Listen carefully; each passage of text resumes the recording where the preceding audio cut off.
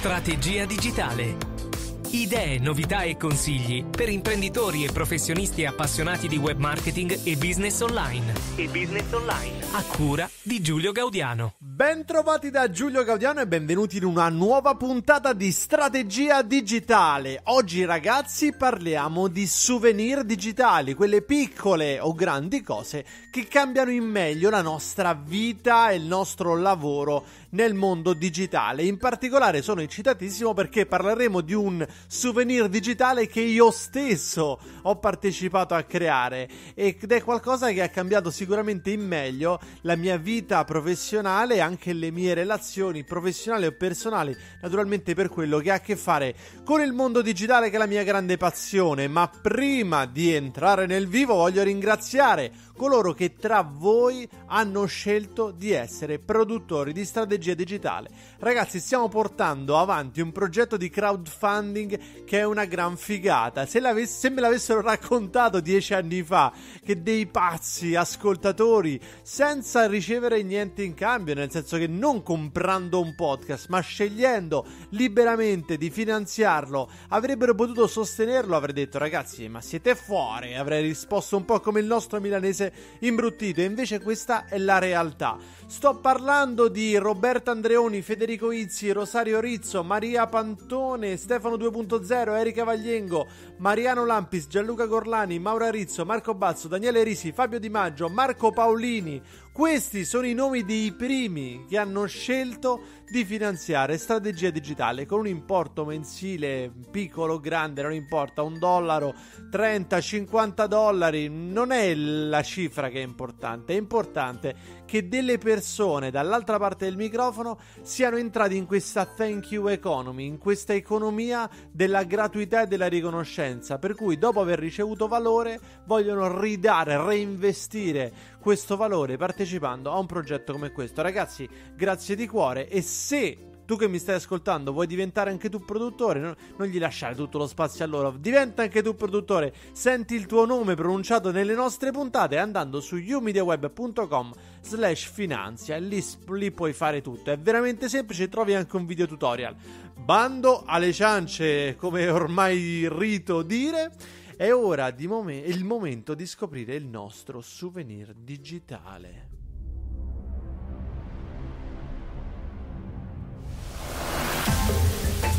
Il souvenir digitale. Il souvenir digitale. E vediamolo qual è sto souvenir digitale di oggi. Il souvenir digitale è lo smart networking. Che cos'è questo smart networking?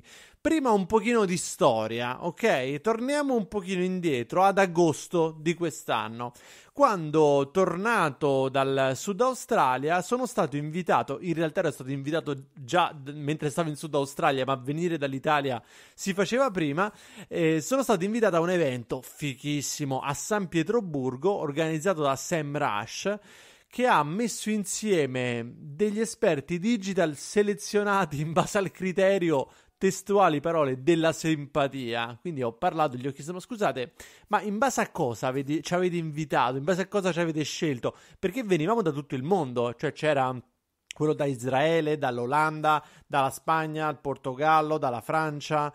Quindi perché avete invitato proprio noi? Ecco, hanno invitato proprio noi perché erano quelli che gli sembravano più simpatici, persone che oltre alle loro capacità professionali potevano star bene insieme, divertirsi e creare una bella atmosfera. E così è stato. Ci siamo divertiti da morire. 3-4 giorni passate proprio non so neanche dirvelo come facendo dei giochi da geek come ci piace a noi, tirando a indovinare sui volumi di ricerca delle keyword, eh, andando in giro per San Pietroburgo. Abbiamo passato, sapete che c'è questo fenomeno delle notti bianche a San Pietroburgo, per cui eh, il sole non tramonta, o meglio, tramonta per 10 minuti, ma poi subito riesce per cui siamo andati in giro sul, con un battello sul fiume tutta la notte, insomma, fighissimo.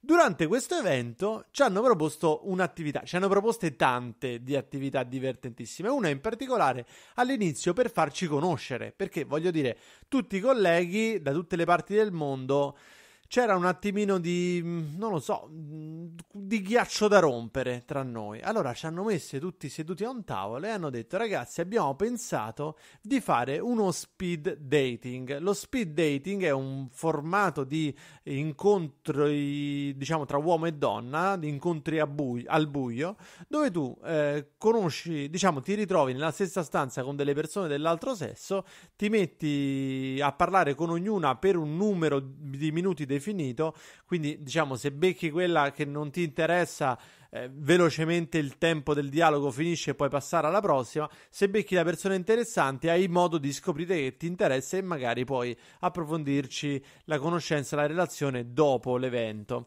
Quindi è un formato carino e ci siamo divertiti tantissimo perché in pochi minuti riuscivamo a, scambiarsi, a scambiarci tante informazioni in una cornice di relazione personale, cioè non è solo di che ti occupi tu, di che mi occupo io, ma come è successo che hai iniziato a lavorare col digital, per esempio? Quindi anche tirando fuori delle cose personali, ma in una cornice a tempo in cui sempre avevi alla fine il desiderio di saperne di più dell'altro e ormai la relazione si era creata, per cui ave- avevi il contatto, avevi la possibilità di parlarci eh, magari nei giorni del- successivi durante l'evento. Insomma, è stato veramente un- un'esplosione di relazionalità. Dopo questa esperienza sono tornato in Italia, mm, ho fatto, partecipato a vari eventi, ho presentato il mio libro YouTube per il business e dovevo organizzare una presentazione a Roma dopo quella a Milano. Ho detto, senti, ma invece di fare la classica presentazione, perché non facciamo una roba come quella che abbiamo fatto a San Pietroburgo? Perché non facciamo uno speed dating? Tra persone che vogliono, sono interessate ad avere la loro copia del libro, ma poi si possono anche conoscere tra loro. E così è stato. Stiamo parlando di novembre, eh, fine ottobre, inizio novembre, ho organizzato questo evento al Caffè delle Arti a Roma, che è un posto, se ci siete mai stati, il caffè della Galleria Nazionale di Arte Moderna e Contemporanea è un posto magico dove ci sono queste statue, l'atmosfera molto classica, rilassata. Insomma, ho invitato alcune delle persone con le quali sono in contatto, alcuni clienti, ascoltatori di strategia digitale.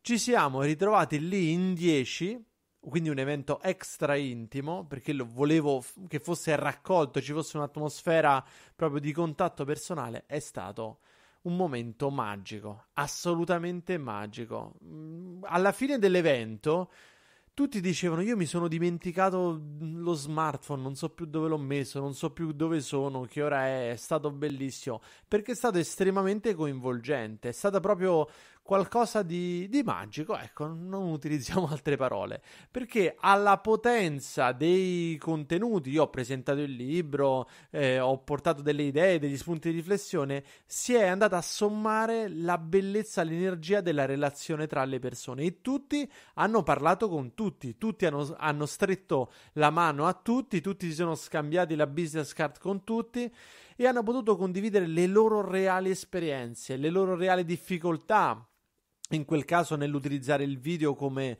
strumento di marketing, come strumento di marketing digitale. Quindi al di là del, diciamo, dell'atteggiamento ingessato che avremmo potuto avere dovendo parlare di business, è stata un'atmosfera proprio familiare, una cena, un tè tra amici.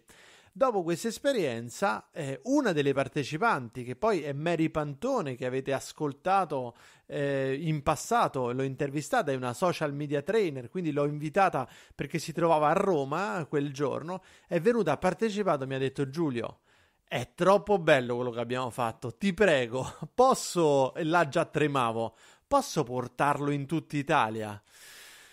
Eh, gli ho detto, guarda Mary, sono contento di questa proposta, un attimo pensiamoci, vediamo, parliamone. Poi lei è sempre impegnatissima, schizza di qua e di là lungo lo stivale e quindi è passato qualche altro giorno. Ci siamo ritrovati casualmente eh, in un intervento che ho fatto su, in un acceleratore per startup, quindi in questo acceleratore per startup della regione Lazio ho tenuto un corso su come utilizzare il video come strumento di personal branding, di marketing e l'occasione dalla quale è nato il corso che ho fatto la scorsa settimana tramite il podcast, ha partecipato anche Mary, era lì, doveva fare un aperitivo subito dopo, è venuta e di nuovo abbiamo fatto lo, lo smart networking ed è stato pure là fighissimo, stavolta non eravamo intorno a un tavolo ed eravamo molti di più perché erano 30 startup quindi eh, abbiamo fatto un cerchio di maschi, un cerchio di femmine che il, questo cerchi giravano tra di loro creando delle combinazioni, insomma, risate, è finito tutto in maniera super goliardica e i ragazzi pure sono stati molto, molto, molto contenti. E quindi Mary è ritornata alla carica e ha detto Giulio, dai, facciamolo, continuiamo a farlo, è bellissimo, continuiamo a portare questo format in giro per l'Italia. E così è stato.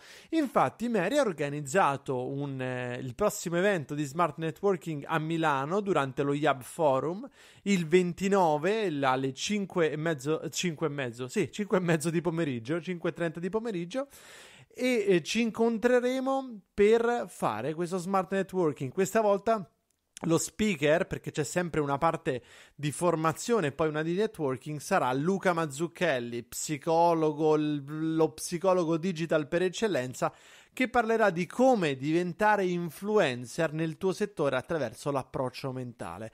Quindi un tema molto bello di crescita personale e di comunicazione e poi ci sarà possibilità di fare smart networking. Questo è quello, quindi non vedo l'ora di partecipare, partecipare a questo evento. Questo è quello che è successo ma voglio un attimo fermarmi insieme a te a riflettere su quali sono que- le caratteristiche dello smart networking e perché è così efficace. Allora, fondamentalmente l'evento funziona così.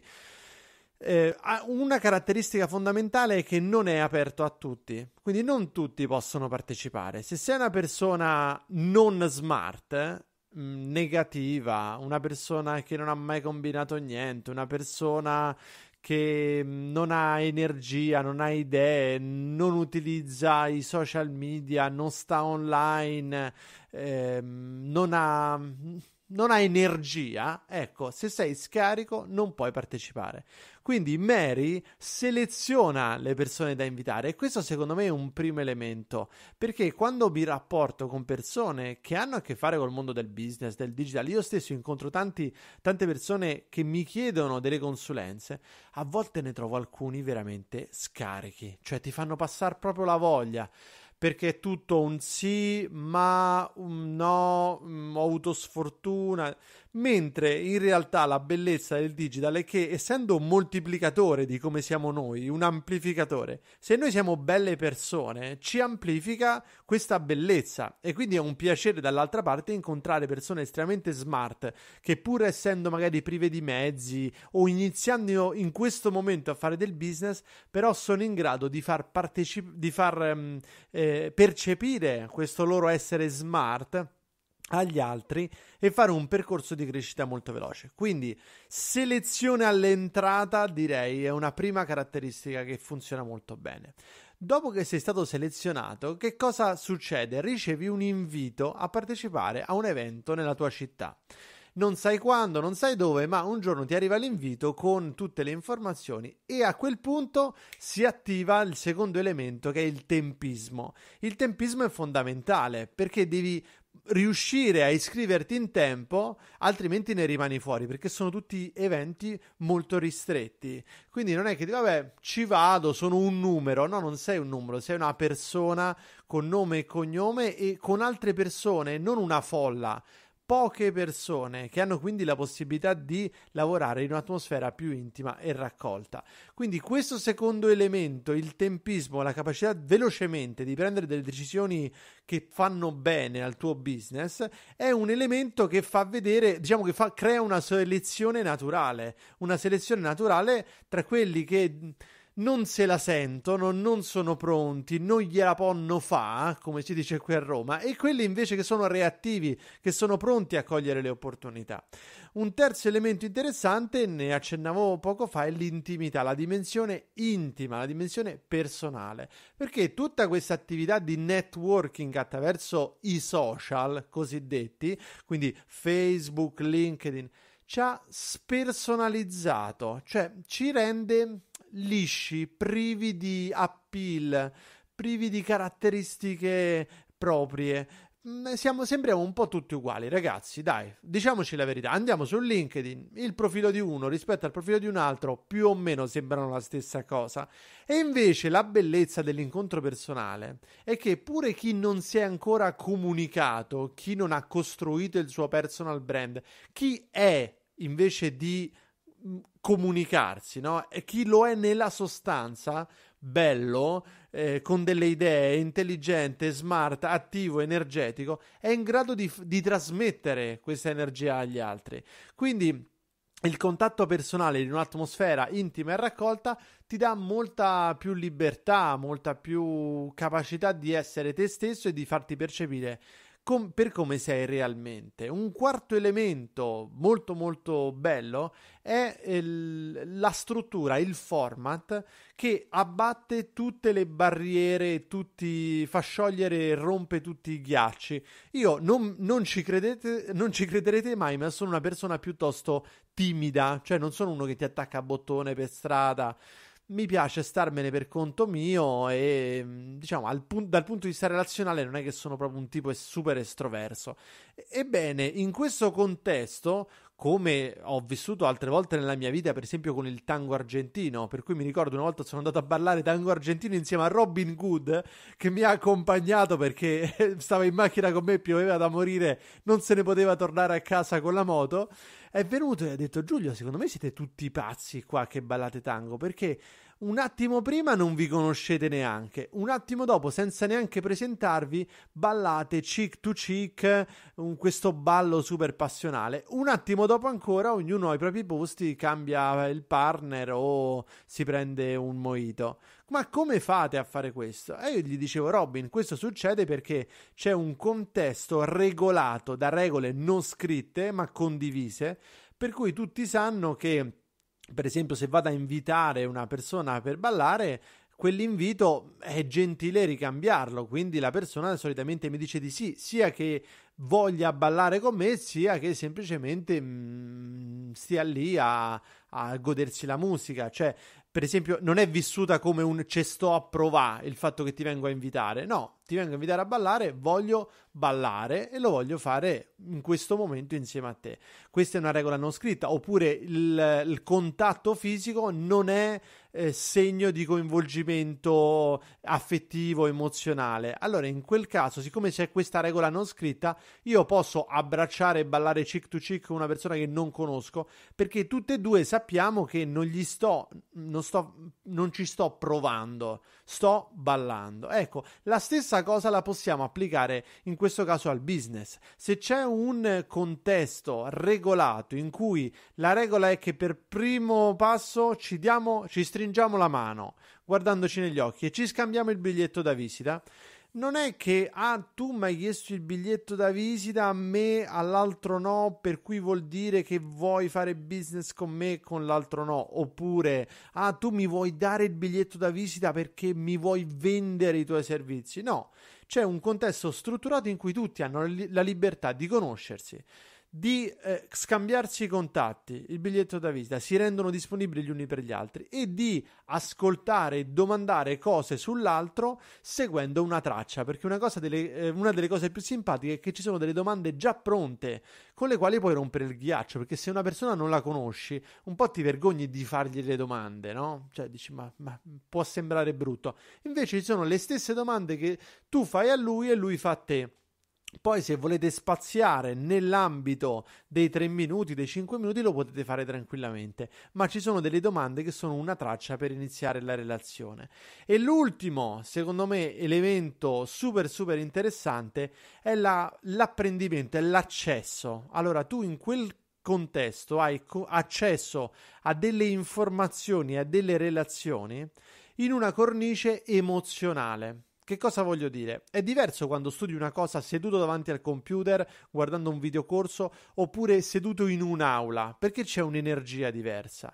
Questo l'ho visto in maniera molto chiara, per esempio a Inbound a Boston, quando veniva tutto trattato dove veniva tutto trattato come un evento in discoteca, quindi musica alta, le luci, eh, l'intrattenimento e poi boom dei blocchi di formazione molto pesanti, molto consistenti, interessanti, che si andavano a inserire in una cornice emozionale. Bene, il mio cervello era molto, molto, molto più reattivo. Per assurdo, anzi non per assurdo, perché siamo fatti così, quando siamo più caldi emozionalmente, la nostra percezione aumenta, quindi riusciamo a essere più permeabili alle idee che ci vengono dal di fuori.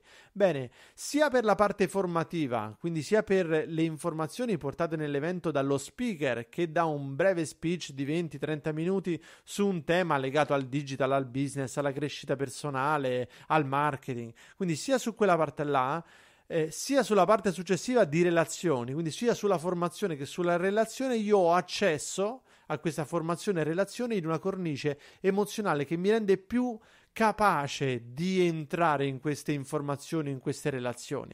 Parlo di relazioni anche perché a volte si fanno delle carrambate, cioè, ah, ma tu lavori là, ma lo sai che è pure un mio amico, ah, lo conosci, da anni vi conoscete, fighissimo. Scopri delle connessioni reali, mentre quando vai su LinkedIn dici vabbè questo è connesso a quell'altro, ma lo conoscerà? Boh, forse gli ha chiesto la connessione così. Quindi nel digital a volte non è la garanzia delle relazioni, cioè non riesci a capire, vedi la quantità ma non vedi la qualità. Ecco, un evento come lo smart networking è tutto basato sulla qualità.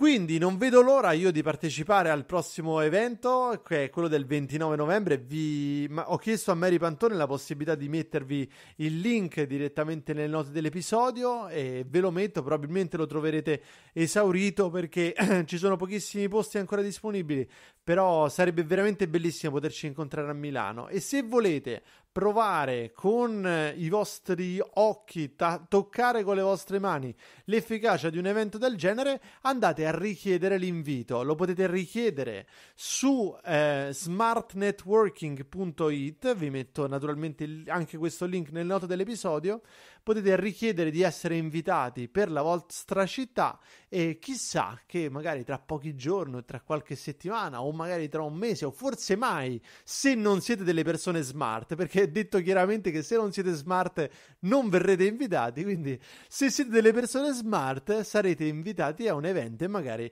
ci incontreremo proprio lì.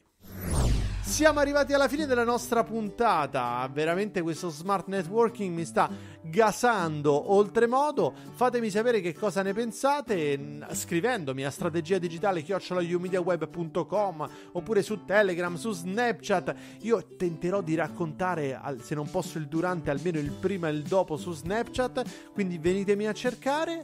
E voglio ringraziare di cuore coloro che stanno lasciando delle fantastiche recensioni. Ne leggo una lasciata da Verde67, intitolata Podcast Imperdibile. Non ricordo come sono incappata in questo podcast, ma certamente mi ricordo ogni mattina di ascoltare i consigli di Giulio Gaudiano e le interviste di Sara Veltri. Oggi lo ritengo un momento imperdibile di approfondimento, di crescita professionale e anche personale. Grazie per tutto il tempo, conoscenza e l'impegno che regalate, ma grazie a te, grazie a te per la tua recensione che ci ripaga di tutti eh, le fatiche, i pensieri, il lavoro, perché a noi ci divertiamo lavorando, è bellissimo farlo ed è bellissimo sapere che questo ha un impatto nelle vite, nei lavori concreti di voi che ci state ascoltando. Allora ringrazio anch'io Sara Veltri, coautrice del programma, il nostro fonico Costanza Mineo e naturalmente radiospeaker.it per il sound design.